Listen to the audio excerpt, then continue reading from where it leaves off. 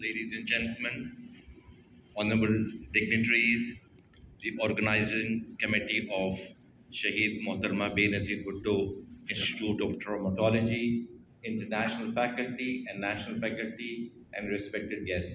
Assalamu alaikum. It's a great moment to inaugurate the by Shaheed Mohtarma Benazir Bhutto Institute of Traumatology at PC are a great cause of death and disability. And preventing trauma is an objective and aim to reduce the suffering of humanity. One of the aim of this arranging conference is